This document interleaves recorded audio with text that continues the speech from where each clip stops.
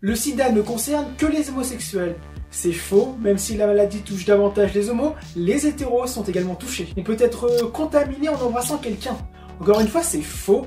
Le 7 avril 1994, l'actrice Clémentine Sélarié embrasse en direct à la télévision un jeune homme séropositif. L'archive, tu la connais, elle est restée dans les annales. On peut guérir du sida.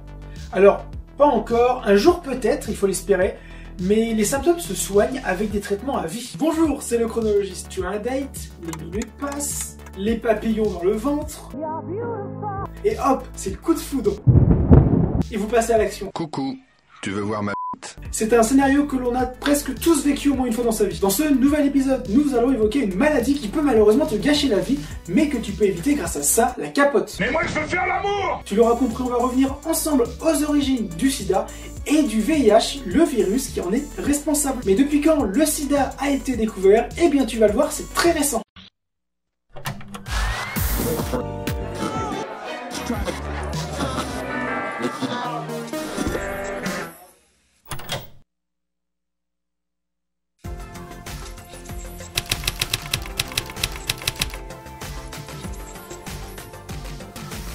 Ne le savez pas, le sida c'est une pandémie comme notre cher ami le virus à la couronne qui met à mal la vie des célibataires. Malheureusement, il n'y a toujours pas de vaccin pour contrer le VIH.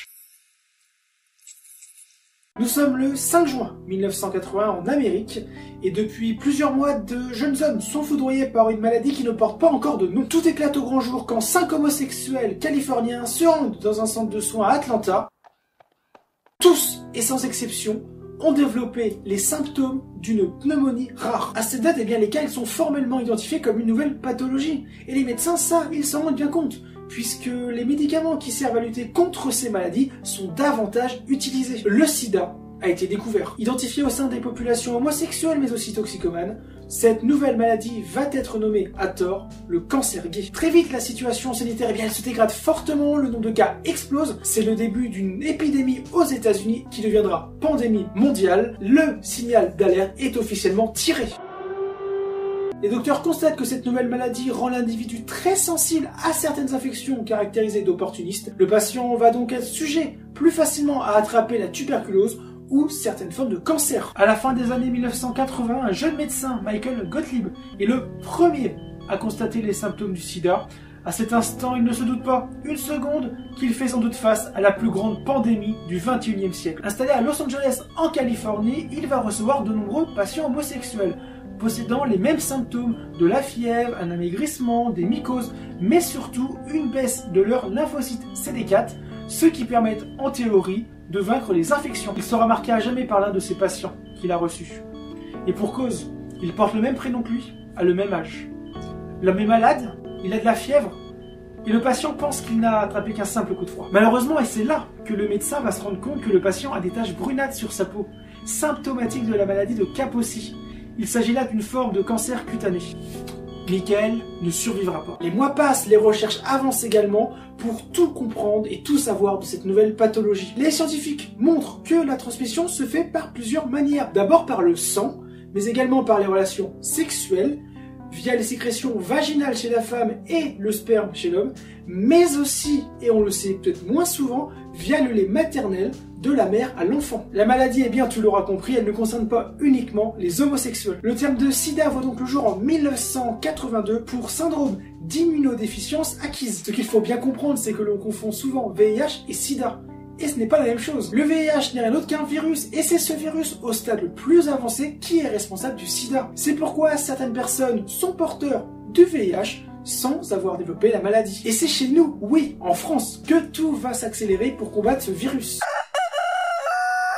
Pour la première fois au monde, le virus du sida, le VIH pour virus d'immunodéficience humaine, est isolé. Nous sommes en janvier 1983. Les recherches pour trouver un traitement peuvent donc commencer. À la tête de cette avancée considérable, trois chercheurs de l'Institut Pasteur, Luc Montagnier, Jean-Claude Sherman et Françoise Barré-Sinoussi, les biologistes recevront en 2008 le prix Nobel de médecine. Imagine-toi, c'est vraiment une avancée sans précédent. Remets-toi un petit peu dans le contexte. Nous sommes dans les années 1980, une nouvelle pathologie tue à tour de bras, les médecins ne peuvent que constater l'agonie des patients, il n'y a aucun traitement, ça ne te rappelle rien? Dans l'actualité, un bilan chaque jour plus importants dans la crise sanitaire du Covid-19. On apprendra plus récemment, il y a quelques années, que le VIH, comme pour beaucoup de virus, a une origine animale. C'est l'Institut français de recherche et de développement qui va déterminer que ce sont les gorilles et les chimpanzés qui ont transmis la maladie à l'homme. Aujourd'hui, d'après les chiffres de SIDA Info Service, depuis le début de la pandémie dans le monde, c'est près de 75 millions de personnes qui ont été infectées par le VIH et près de 32 millions qui sont décédés des suites de maladies liées au SIDA. Parmi les victimes de grands noms de la culture, l'acteur Anthony Perkins, l'humoriste Thierry Leluron, l'artiste Kate Haring, le réalisateur Jacques Demy ou encore l'indétrônable Freddie Mercury. On pourra aussi citer la militante Elizabeth Glaser, épouse du réalisateur et acteur Paul Michael Glaser. Elle aussi décédera du VIH à l'âge de 47 ans en 1994, des suites d'une transfusion sanguine contaminée. Elle aura transmis le virus à ses deux enfants. Le sida fait donc partie des thématiques funestes mises en image au cinéma, et j'ai choisi pour toi deux films pour bien comprendre les aspects sociaux et sanitaires de l'infection depuis sa découverte. Le premier, il est français, et tu le connais sans doute. C'est 120 battements par minute, sorti dans les salons 2017. Son réalisateur Robin Campillo nous plonge dans les années 90 où le sida tue dans l'indifférence générale des gouvernements. C'est alors que des militants d'Acte Paris vont vouloir faire changer les choses et mener un véritable combat contre la mort. Le second, c'est Holding the Man, sorti en 2015. Le biopic romance la vie amoureuse entre deux hommes. Neil Armfield tisse les premiers émois amoureux à l'écran et montre également les difficultés à se faire accepter tels qu'ils sont dans les années 1970, mais ce qu'il va montrer c'est surtout le couple face à la maladie. Un conseil sortez vos mouchoirs puisque ce sont deux films vraiment bouleversants et qui révèlent finalement la vérité cruelle qu'est le sida. Dans cette vidéo, nous avons beaucoup parlé du VIH, c'est l'une des infections sexuellement transmissibles les plus connues, mais attention, il y en a bien d'autres, comme les hépatites. C'est pourquoi se faire dépister est essentiel et pour cela tu peux te rendre dans les Cégides. Il s'agit de centres d'information gratuits de dépistage et de diagnostic.